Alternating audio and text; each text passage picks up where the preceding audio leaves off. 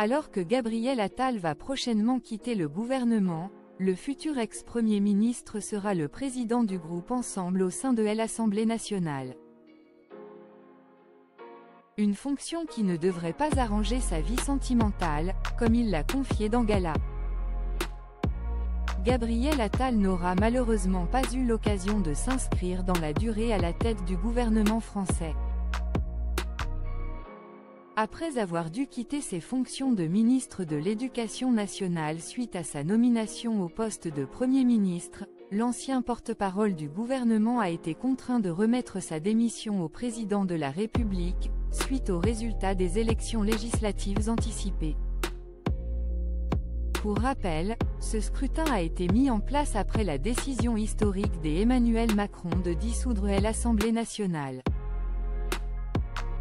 Le parti présidentiel n'étant désormais plus majoritaire au sein du Parlement, Gabriel Attal devait donc quitter son poste de chef du gouvernement français.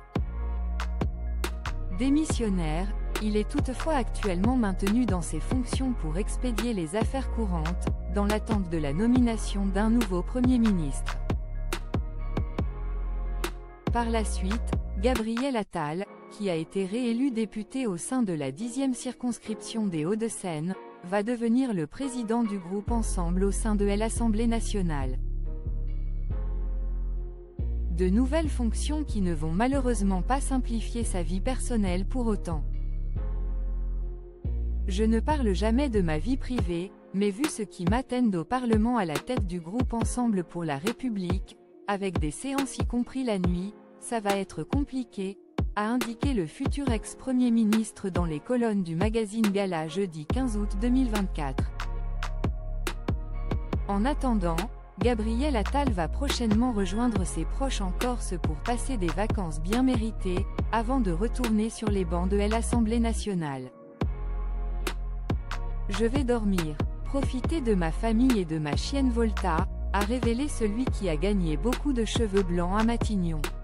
Pour l'instant, Emmanuel Macron ne semble toujours pas décidé sur le choix de son futur Premier ministre. Qui va succéder à Gabriel Attal au poste de Premier ministre? Pour rappel, le nouveau Front Populaire, qui regroupe l'ensemble des partis de gauche, PS, PCF, EELV, LFI etc., a désigné Lucie Castet comme candidate à ce poste. Je ne suis pas là pour plaire à Emmanuel Macron, mais la logique institutionnelle veut que le gouvernement revienne au NFP, qui a remporté le plus de sièges, a-t-elle récemment déclaré dans une interview accordée aux Parisiens. Parmi les autres noms envisagés pour prendre la tête du futur gouvernement français, Xavier Bertrand et Bernard Cazeneuve pourraient créer la surprise.